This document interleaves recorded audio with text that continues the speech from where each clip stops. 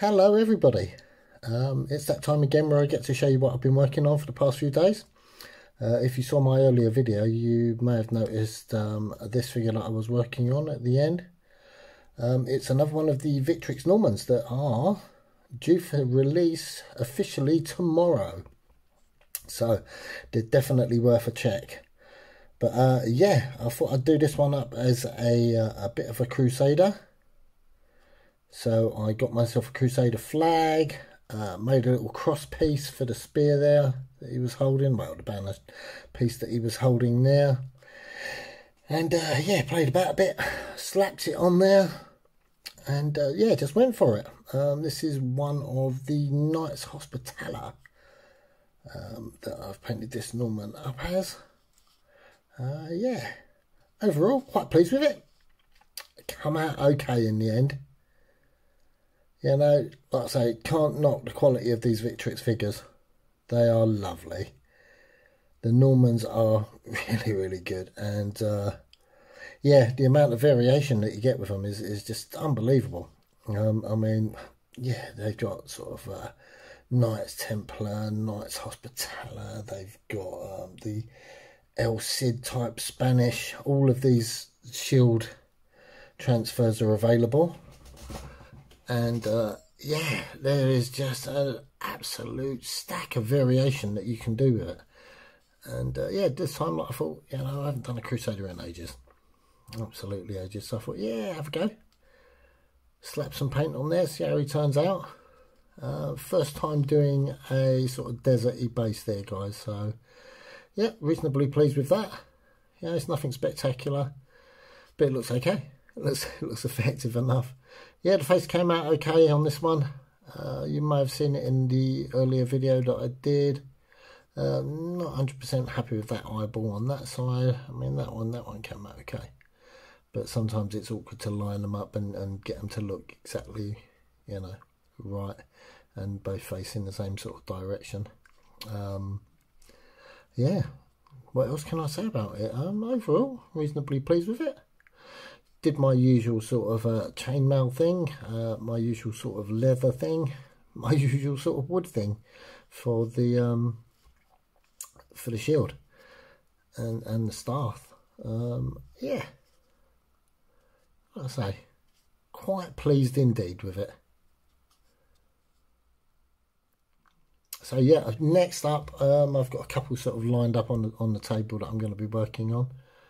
Um, I thought, like I say, going to have a go at sort of lots of different ones. I'm not going to do sort of a, a unit of, uh, uh, say, just Normans or just Crusaders and that. There's there's loads of shield, shield decorations, shield transfers. So I thought I'd do a bit of everything, to be honest. Sort of mix and match it up a bit, play about a bit. But yeah, overall quite pleased. Played about with the flag a bit, put some highlights here and there on it. You won't be able to see it really. Yeah, you can probably see me brush strokes on there. I was highlighting it up. Um, matte varnished it up. Nice shield transfers.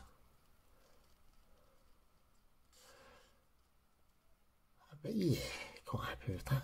Quite happy indeed. Let me show you what's next. So uh, I thought I'd go with one of the guys with the um, scale mail. So yeah, I've just I've just put the scale mail, scale mail in. Um, that's my usual sort of um, base coat with the sort of silver. Give it a wash. That's only had one wash on that. What I'll do is I usually give it one wash as a, a first go. Uh, then I'll put the leather in uh, line the leather put the scabbard on um, paint all the pouches and stuff like that. Do the face. Uh, yeah line it all up. Probably do some of the padded armor but maybe just base coat that and then I'll hit the scale mail again with my second wash of uh, of my chainmail wash. And that just sort of like all sinks it in properly. You know if there's any bits that I've gone over before then um, with the leather and, and, and you know areas that I shouldn't have hit with say the uh, the base coats and, and the actual leather highlights and the washes then I'll usually go over again with silver. And then cut it in and line it and then hit it again with the, the scale mail wash or the, or the normal wash Still got to do the base. Deciding what to do with the base actually. Don't know whether to go for um, sort of maybe a slightly deserty base. So I quite enjoyed doing that last one. Or to just go back to the old style and uh, make it a sort of uh, uh, sort of earthy base instead. Don't know. Haven't decided yet. Gonna play about with the face. Let's get it in there.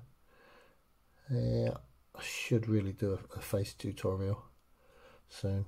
Been meaning to.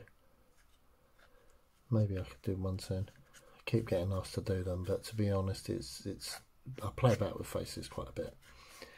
They they're not necessarily long. It won't be a long tutorial because it's basically the same highlights that I use over and over again, and it's always in the same sort of places that I put the highlights.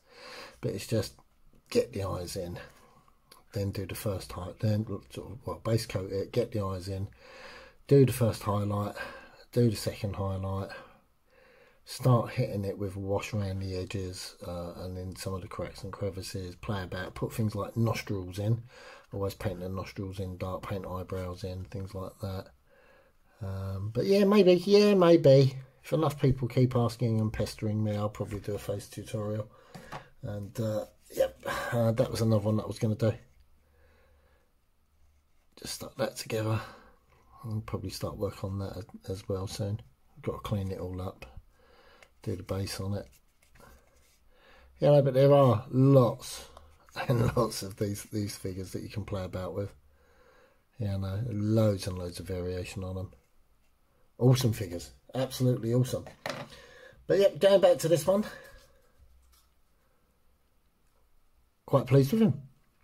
Quite pleased indeed as usual, please leave me comments. You know, say hello. It's always nice to hear from you guys.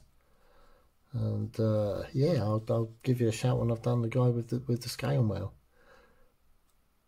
Anyway, take care. Speak to you soon. Bye bye.